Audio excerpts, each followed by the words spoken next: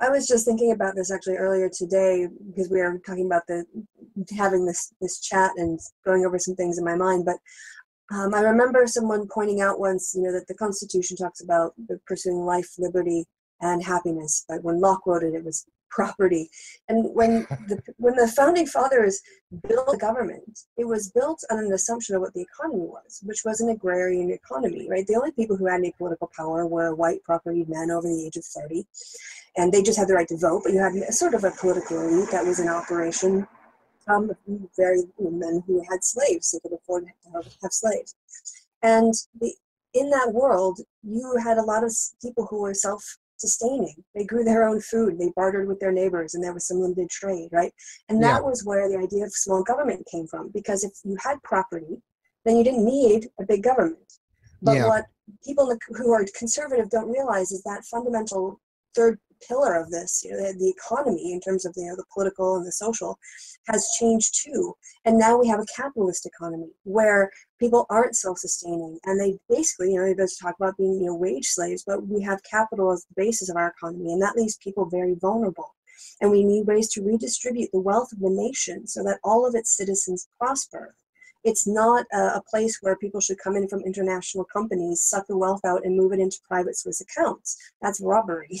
Um, so we need to think about the ways that our nations produce wealth and also think about the ways that everybody enjoys it because we can't go back to the agrarian way that was the principles that conservatives preach about so often.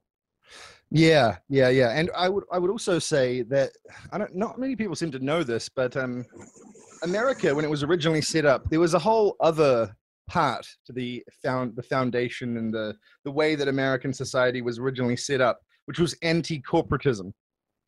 They hated the big corporations because another thing most people don't realize is the biggest corporations in history existed hundreds of years ago, not now.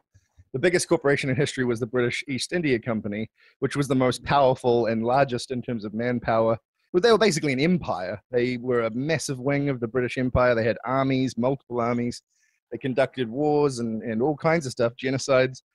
And the Americans hated that and wanted to curb corporate power as drastically as possible. And that's one of the reasons why um, the state system was really important because they could do things like um, limit uh, corporate activity to one state. You weren't allowed to do a multi state, interstate um, activities. And that all got abolished over the years by a series of very savvy corporate lawyers. But um, you know, on the uh, for railroad barons and stuff. But but yeah, like um, America was supposed to be fundamentally an anti-corporate society and looking at it now you would just be like whoa holy crap the, the founding fathers would hate what america has become hate it yeah. I mean, they probably George hate Washington in his resignation. they probably hate it though because like don't black people are free and stuff as well. But anyway. oh yeah, that too, that too. But like George Washington in his resignation address is like, don't form political parties, guys. Don't do any of these things that I have to do. And then we did all those things. Like, mm. and he's probably spinning in his grave right now, thinking about like what, like what happened. It's happened to us. Yeah, yeah.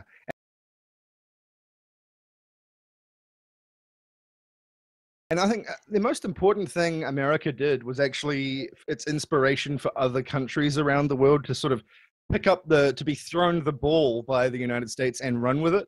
You know, America mm-hmm. hasn't really kept up in a lot of ways um, uh, in terms of like legislative progress and whatnot, like the whole um, non-single payer healthcare system. I mean, New Zealand had that since 1938, uh, so and it's been working fine the whole time. I didn't know that. That's great yeah, in, the, US, you know, like in the UK, the NHS was established after uh, the Second World War, I believe, and there was a lot of feeling of sort of national unity. But the way that seems to express itself in the US was with the GI Bill, which yeah. primarily benefited white soldiers who were coming back, mm and mm so it really limited the impact on society to the people and the families that directly mm benefited it, but not women and not often um, uh, soldiers of color.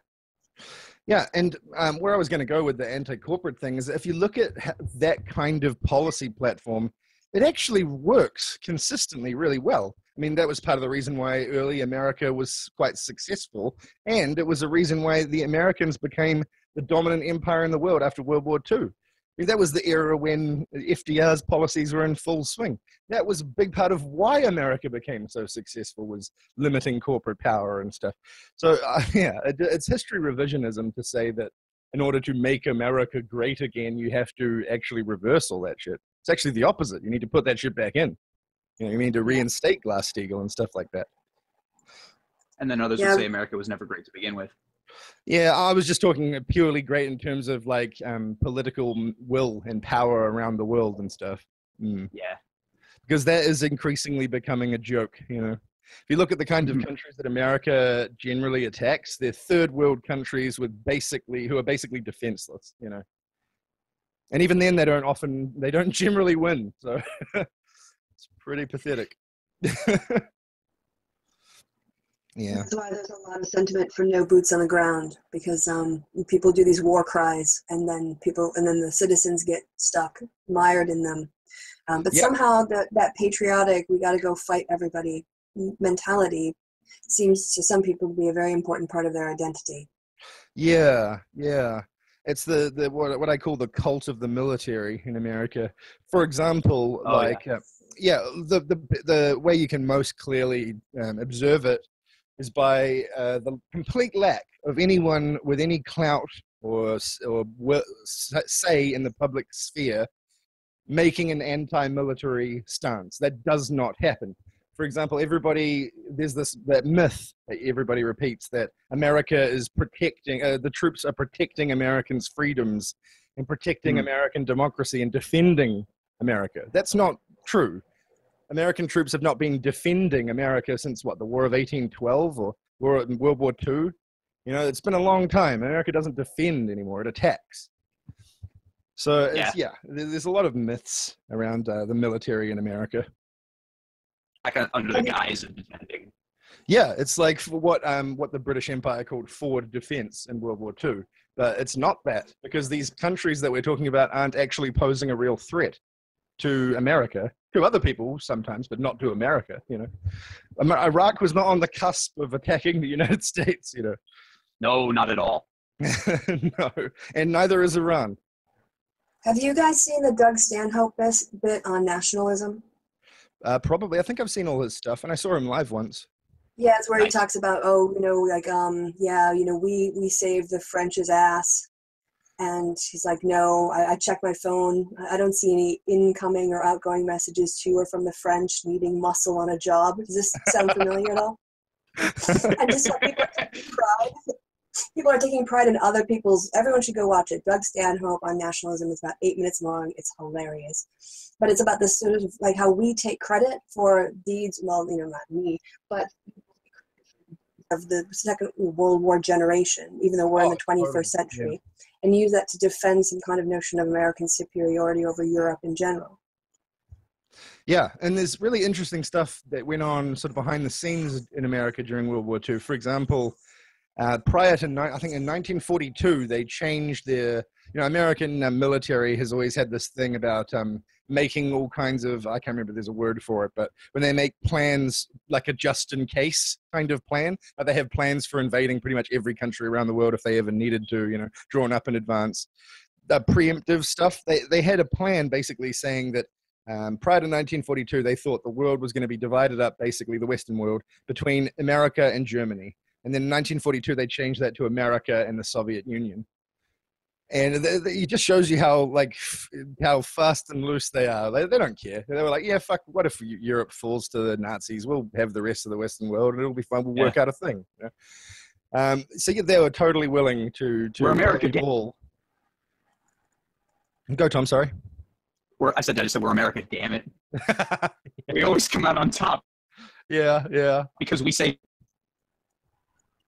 But the, uh, it was it was the Soviet Union that won World War II. I think anyone who has actually studied it knows that. And if you look at, um, if, I mean, yeah, they Americans won the Pacific Theater. I'll give them that. But in terms of defeating the Germans, it was the Soviet Union who defeated the Germans by throwing millions and millions and millions of Russian people at them until you know body too high to to climb over, basically. Like, it was like that scene from Game of. Thrones, you know. There's a book called um, The Bloodlands, I think it's called, um, about World War II, um, the sort of, uh, what do you call it, the Eastern Front, and just about the level of atrocities and war crimes that were happening there in an unprecedented and not repeated since scale that is fucking mind blowing if you actually look at the look at what happened. That that book's really good, by the way. Yeah, it's part of the Second World War that tends to just become a little paragraph or two. There's so much talk about the Holocaust, um, Yeah. and the the kind of equal weight isn't given to the amount of yeah mass death that happened because of yeah the German invasion and the various you know, consequences of it. I will say though that um, Holocaust deniers will use a sort of version of that talking point where they'll say, "Hey, the Russians lost 13 million people, so you know why aren't we talking about that?" It's like, well, it's not actually the same. They lost those 13 million million people primarily in battles or um, through the side effects of being in war, not in camps getting gassed and shot in trenches and stuff. Mhm. It's not the same at all. Hmm. Yeah, it's a classic diversion tactic. You know, to just to stop talking about A, you try to change the subject to B. Mm, And you're mm, like mm. when you go from talking about rape culture to false allegations. You know, it's the Yeah. same kind of sidestep that seems to be related, but basically shifts the attention away from the thing you are actually trying to bring attention to. You don't know what real oppression i- yeah. is. Yeah, what they call the oppression Olympics. Mm. Which is why I stay away from the word oppression because you can get into I'm more oppressed than you, Yeah. or A group is more oppressed than B group, and none of that matters. It doesn't matter. What matters is there is bad shit going on, and why don't we address all the bad shit, you know? And one person doesn't have to address it all on their own. There's lots of people in the world, plenty to go around. Yeah, it's like we're talking about A now, and then we can talk about B in another time, you know, but Yeah, let's oh, talk about A, and then let's talk about B. Yeah, Yeah, go exactly. ahead. Which is why attacking Black Lives Matter for not talking about white people is insane. Right. Or like exactly. Thunderfoot attacking that picture of the Ghostbusters crew for not including any men in a in a photo that was designed to highlight how many women were in the shoot. That's not sexist, Thunderfoot.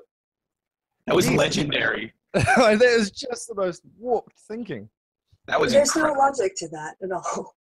What's that? So, yeah, I know it, it's it's ridiculous. It's like uh, if you look at um, the film industry, because the film industry of any like um, of any industry that uh, feminists look at as a in terms of having a massive gender disparity, the film industry is way up there with STEM. It's like it's it's absurd, and it's very gender roley. Like um, men always get certain kinds of jobs, women always get other certain kinds of jobs. Like for example, what we call continuity here, or what is called script supervisor or script girl in the United States. That's a Mhm. historically female role, and to this day is mostly female. Grips, on the other hand, who are thought of as needing a lot of physical strength, but in reality, they don't often need physical strength. It's actually finesse that they often need. That's mostly men, even though a lot of those jobs could be done just as easily by pretty much any woman.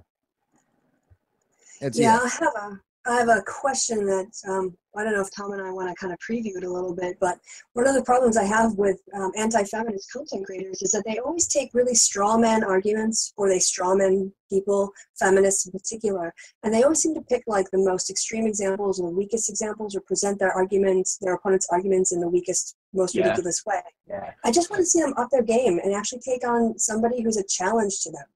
they can't. make some good arguments. Exactly. Like, They It's don't even so- know who the, those people are, Kristi. They don't know. Like they only know the people who are under attack because you know, like for example, um, I was, you know, I have this um, thing that I like to have been talking about quite a lot, especially in Hangouts. I've mentioned it in the last two, um, where people often say, "I'm only against the third wave, not the second not realizing that most of the stuff they hate about the third wave was actually pioneered in the second wave mhm. um, and so what they're talking about is absolute bollocks. I, I mentioned that um, to this guy. I said, "Are you one of those people who says that?" To this anti-feminist guy who was, you know, berating me before this hangout, and he was like, "What you mean that the the movement started by Andrea Dworkin and um and uh, God, what's the name of that woman who, who wrote Scum? Th- those people." Valerie Solanas. yeah, Valerie Solanas and Andrea Dworkin were extremists on the fringe of the second wave. They did not start Exactly. it, nor were ever a ma- part of the mainstream movement. so to characterize the second wave by those two people is insanely di- disingenuous and just totally invalid. Mhm. Agreed. Yeah. And it- And and it's That- those that- building those straw men that they can you know they have to set those up as you point out because the arguments they, they don't have the arguments strength Yeah. to take on actual feminist critiques when I mentioned in my last hangout, uh, he was asked. Sorry. Yeah, that, that comes out a lot in like recent meme culture too. Like this is something I'm up on as like a hip millennial. Uh, but like a uh, humongous thing that just happened, and like Trigglypuff and all these other uh, social justice people who have been turned into like mockeries. Hmm, hmm. Yeah, by like on the internet.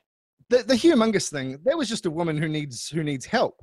She's she's not okay. She's unwell. That lady. She needs to go to a therapist and, and get on medication and stuff. She's mentally ill, like severely.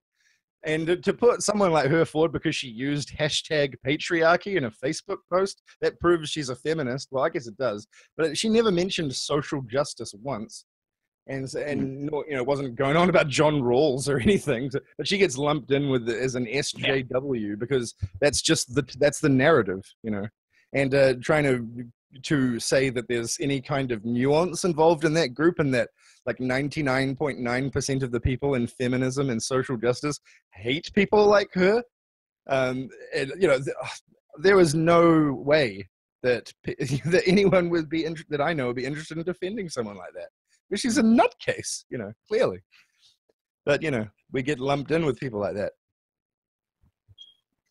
But that's a stand-in because they don't want to face actual feminists, like because when they do in a debate, it doesn't go so well. I was going to bring that up, Kristi. It was one of the things I was very keen to talk to you about was the Sargon debate because I've been meaning to talk to you about that for a long time. I firstly, I just wanted to say I think you did a, a fantastic job in that debate. You, you did better than I could have, I think, by quite a what quite, quite a bit. Better than any of us very, really. Very well done, um, and I actually think that Sargon did such a bad job in that debate. I could have done better than him in arguing against feminism than he did. Because you actually have to know shit about something to be able to argue against it, right? And yes, I, my arguments wouldn't have been particularly compelling against that premise of feminism being a force for good in the world, but I at least could have tried to make one.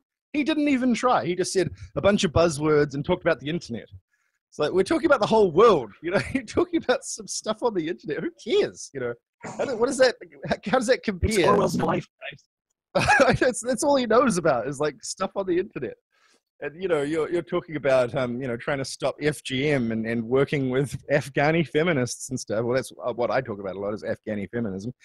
They don't know anything about that, you know. So they have no argument against it. So I was amazed that he didn't even really try. And as as H bomb pointed out in that video he did about it, his his takeaway from it was that he over prepared. He's living in a fantasy yeah. world, man. total, it's just delusional. It's so amazing. Oh, he doesn't know and he doesn't care. He, yes, I got you. You over prepare. That was that was the problem. Yeah, it's not that you're a terrible debater and don't have any of the facts on your side. That's not also, it at all.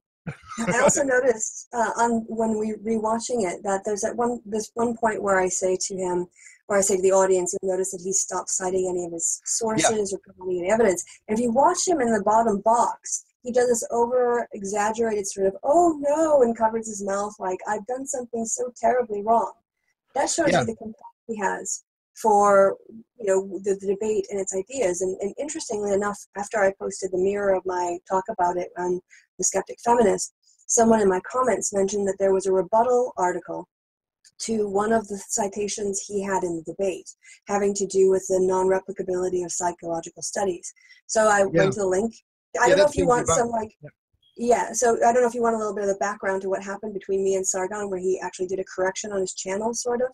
Right. Um, but I'm willing to talk about it if you want to hear the story. Yeah, yeah, absolutely, sure. Okay.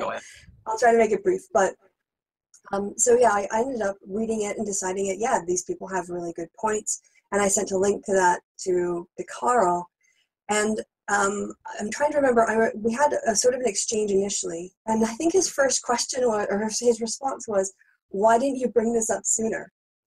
And I wrote back, LOL, like, it's not my source, you know? I, I yeah, you were the one doing the research. Like, yeah, why didn't you, you bring it up yeah, I didn't know you were going to bring it to the debate. How could I have brought it up sooner? And I said, Well, I just found out about it from a comment on my channel and I brought it to your attention immediately. Don't you want to tell your viewers that this study has been shown to be, um, you know, have problems with it? And, and he wouldn't acknowledge that he was going to make a correction video. And I asked him a couple times and he just kept evading me and doing other points. Well, I was out at the American Political Science Association conference, and before I flew out, I looked at the authors on the list. Um, and I started off with Gary King, who is like the king of replication in the social sciences, if you know anything about replicating studies. And he was the person on the lead of the article about the problems with the original study.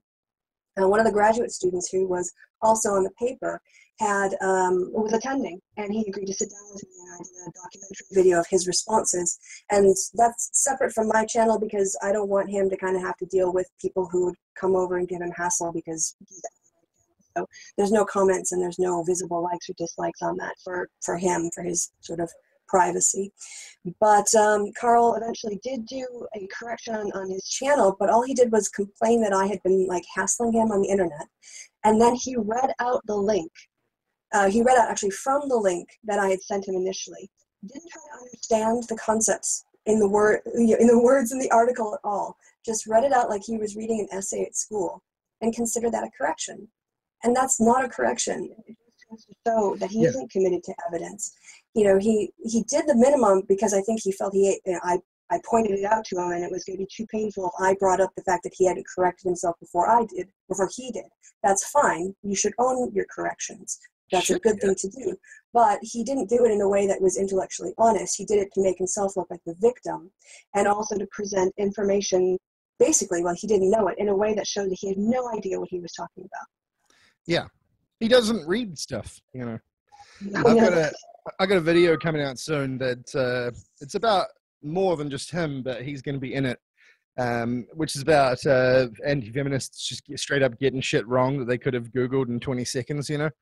Um, and yeah, it amazes me because like like, like H bomb said about Sargon that he was talking about um, the Dunning Kruger effect and his theory that Sargon basically just assumes he's right and assumes he has all the facts, so he doesn't need to really check on things. He just sort of Mhm. his whole worldview about feminism is all based on assumption that um, that he knows his shit, that that he's got shit on lock, you know, and um, the, the so there is no need to double check things, you know. Whereas an actual academically minded person basically has the opposite frame of mind of that.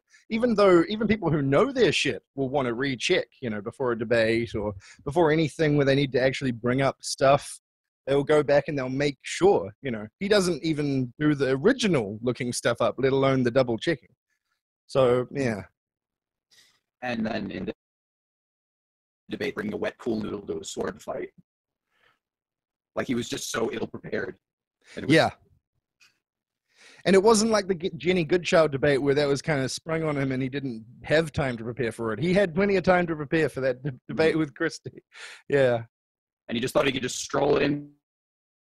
It Being a reminded me a lot actually of, um, have you guys seen the documentary best of enemies that came out last year No, please do tell. It's amazing. It's an amazing film about the series of televised, short televised debates between Gore Vidal and William F. Buckley um, uh, during the 1968 um, DNC and RNC, the, the two conventions.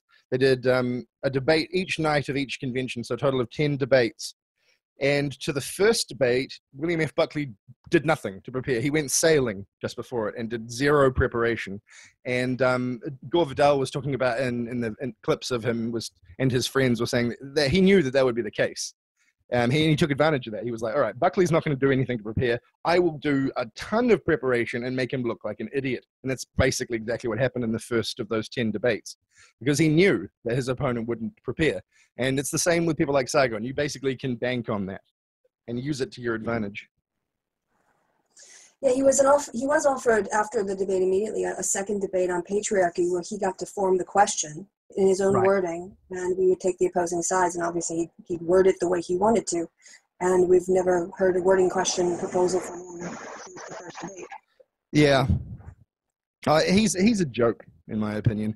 He he there's a clip of him recently, which is the thing I'm going to be talking about in that video coming up, that really just showed him to be a joke, a fucking joke, and I'm going to shine a light on that, um, and so, so people can just see just how fucking lazy that guy really is, and just how he does he just doesn't he doesn't care about knowledge. He doesn't care about knowing stuff. I'm not going to get any arguments until I see evidence to the contrary from me. yeah, and he seems to be really going downhill fast at the moment.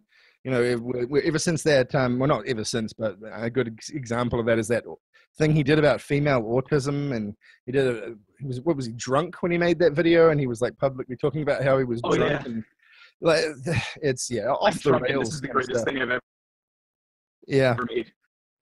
and he's like shouting about stuff all the time, and yeah, it's He's a dad too, so like, oh, that's What- scary. man, Yeah. oh man, yeah. Yeah, he only seems to want to engage with feminists on Twitter right now. He's been invited on a couple different feminist channels and made some agreements, and then again, like with the second debate, just the follow through wasn't there. And and yet, he'll, you know, he'll post me or he'll tag me into things on Twitter. You know, Right. Yeah. Yeah, he, he does not communicate with me at all and has not done so since my response to him. And before that, he was, um, you know. So I clearly hit a nerve with that video. Even Let though me I know didn't how you insult did him that. or anything like that, you know. let me know how you did that, and maybe he'll leave me alone too. well, make your video Yeah. longer than five minutes. That's a good start. Because he doesn't seem to like that. that's the reason he hasn't commented on my video yet. Right. But that's not just about him, though.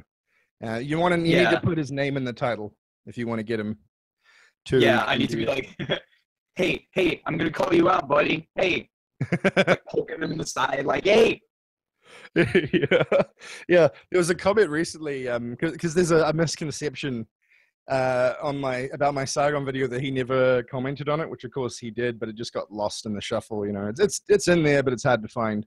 Um, and so there's there's people saying, you know, where's Sargon's comment? And one one guy replying to that was like, this guy only has three thousand subs. Maybe Sargon doesn't even know who he is. It's like you don't know Sargon, buddy. it doesn't matter if I had a hundred subs. He would have found it. It's got his name in the Oh, title. yeah, he would have yeah. found it and watched it. I, I think he just he Googles it. You know, he puts in yeah, I have to wonder, Sargon of Akkad into YouTube and every day and just sees what comes up. He seems to watch all of it. anything else. Well, not, or at not least the first. yes, exactly. Like the first Tom and 30 Tom, seconds. yeah. Yeah. See if he can get his comment in before the ad starts. mm. Well, there's probably plenty of time spent talking about him. Oh dear. Oh, did you guys hear about about Thunderfoot recently? About how he was featured in an article on WorldNet Daily. No, what was He is this? fully Ooh, been sucked into the alt right now. He is officially in the alt right. Um, he basically there was a an article about um, the Reason Rally and about how a lot of right wing atheists were trashing it, and uh, he was the most prominent person referenced in the article. Um, it was mostly about him. And one of the things it talked about was had, had quotes from Ray Comfort saying, "Oh yeah, you know Thunderfoot comes around to my house sometimes, and you know we hang out and stuff, and we've got the whole pro life thing in common." So it's like, whoa, Jesus. First of all, a pro-life atheist is fucking weird to get from the get-go, but Yeah. I mean, he just wants to control women's bodies, I guess. Um, but Doesn't yeah. shouldn't he sort of disclose that like we're friends and we can have these debates, but we're on and we're chummy? I just think that somebody's so notorious that that that would be something that he would want to disclose to his viewers, just so that articles like this wouldn't come up, and then people would find out um, all of you know, kind of feel like he's been lying to them. Mm, mm. I tell you what, though, the alt right is very good at that. They're very good at sucking people into their machine. They seem to be Mhm. like very like even people like not even fully into the machine, just sort of getting them to embrace their talking points, like they did with um, Kyle Kulinski. Yeah, that that seems to happen. And Dave. Rubin. Mm, what's that? Thom? And Dave Rubin. Yeah, oh, totally. He, he's Dave Rubin for that matter. he's the he's the top progressive. That guy. Did I see that that um, that Thunderfoot's going to be on the Rubin Report? uh, wouldn't surprise me. Milo's been on there. I think I saw that come through my Facebook Oh, feed a couple hours ago. So, yeah, Yeah, I was like, what? yeah. Again, with the what? So he's become enough of a joke intellectually to go on the Rubin Report. Yeah, threshold crossed. yeah, yeah. yeah, I mean, I, I would never um, respond to a Thunderfoot video. Firstly, because I, I hate the guy and he's a he's an outright misogynist. But um, he is just, it's too easy. It's low hanging fruit. People who Yeah. just so there are so many videos on YouTube just him being absolutely destroyed by feminists. Um, you know, people who that's all they've done. Like there's a a page called um, Snork Maiden. There's Logic Bomb. There's um, Facts versus Anti-Feminists. There's a bunch of people who have gone after him very, very, um, you know, successfully. People who are not well-established YouTubers or anything, and they just, yeah, his arguments are just pathetic. Thunderfoot versus Feminazi Ghostbusters was amazing. Sorry. That's true. Thom was talking about the H Bomber Guy's video. The title Oh, of it yeah, again, yeah, Thom? yeah. Yeah, I'm actually. Thunderfoot versus Feminazi Ghostbusters. Yeah, I'm actually using a very very short clip from that in my next video, and uh, yeah, the the the um guy who go, you know, the guy who says I'm rational with the with the fedora and the bald cap and stuff. I love that joke. Amazing. I'm Oh, rational, the Angry Game Smasher. and it's me. I don't even think is Thunderfoot even a member of the Rationals these days. I don't think he is. I think they consider him a bit of a joke. You know. He would though. Was he? Was he? Did he? Was he in the thirty-two or whatever it is, twenty-seven questions for SJWs? Was he in that? No, it wasn't. No, no. Yeah. See, I- Captain Andy also. Did you guys see the Captain Andy video that he just put out in the last few days with Thunderfoot and all his Yeah. edited verbal pauses uh, strung together was so good. I mean, it was That was just really great. yeah, yeah. He's so waffly. Anyone who's yeah, anyone who's had to edit Thunderfoot, you're like, oh, just oh, get, just stop it. Just stop talking when you're not talking. Just close your mouth Yeah. and be quiet.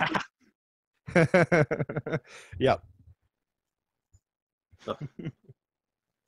But no, he wasn't. He doesn't seem to. I mean, he's kind of associated. He's clumped in with them, if you want to say it like a factor analysis in terms of the content, and obviously the whole um, Anita Sarkeesian obsession. Like he just keeps trying to milk that cash cow.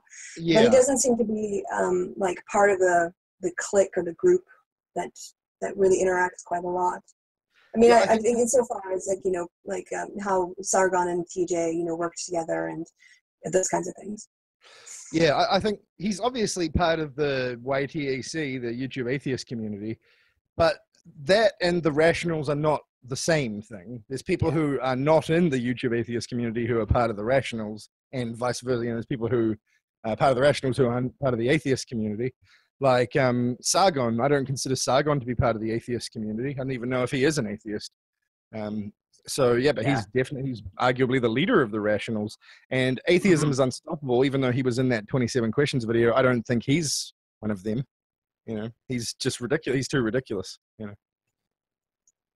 It's a loose a loose And they can say alliance of interests. Yeah, yeah. Well, maybe he is. I don't know. I, I can. If I I was a public irrational, I wouldn't want to be associated with him. He's a fucking joke. Yeah, one of the things I find interesting, uh, I said this in another hangout and got some pushback, but it's true that know, the atheists, that side of the atheist community, um, want to deny that community exists, and yet they have a massive debate about the doxing. And the way Yeah. that they want some people want to punish AIU is to shun him. It's basically exclude him from the community. Well, if there's no Yeah. community to not be excluded from, then why are people talking about shunning him? So Mm-hmm. uh, the, uh, the subtle notions of how we make community, um, even just along a special interest line, is enough to be called a community. So their insistence that not only are they not a community, we're not a community, um, seems to go against the notions that they feel like they're being forced to accept what a community is. It, it Yeah. just seems like the reverse. You know, it's like um, I don't get. I think it was Armored Skeptic that I was watching watching your. Yeah, he was the one who did the whole big thing about it.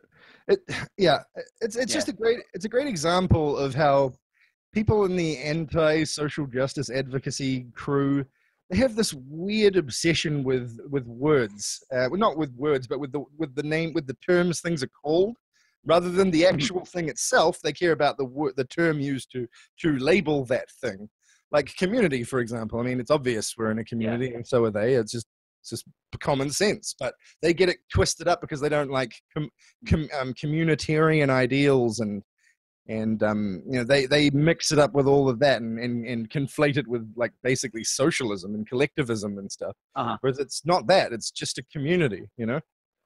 Yeah, Plus, that pisses me off. yeah. Well, what they Armored want, Skeptic if has we this use whole- Oh, go ahead. Sorry, Thom. It's the delay. I, I, Yeah. There's a pause, and I try to fill it because I thought you hadn't. Yeah, uh, it's weird. Armored Skeptic has this whole obsession with like I don't belong to any move, completely independent. But like he clearly has leanings and like favorites in like You know, like it's so obvious that he's trying to dis Yeah. himself. He, I, he's not fooling me. You know, He wants to he wants to have his cake and eat it too. Mhm. Mm, He wants to appear to be a fence sitter while also taking positions that just happen to be profitable, you know, in terms of what his viewer base wants. Yeah, If we think about the notions of uh, rigidity that these sort of, you know, um, define the word in one particular way thinkers go by, we couldn't call anything democracy that didn't resemble what happened in, in Athens. You know, Yeah. because it's like one definition. I've been criticized for using multiple definitions of patriarchy that all describe the same thing, but in a different emphasis. We're using different words depending on what the concept somebody be using in the video. You know, Yeah. so this idea that somehow there's one version of what patriarchy means or racism means, and it must be, you know, less than 25 words long, and it comes, must come from a dictionary. Exactly. Um, yeah. it- it- yeah, we, we don't do that except for things that they don't like. Yeah. That's Yeah. right. Yeah, yeah.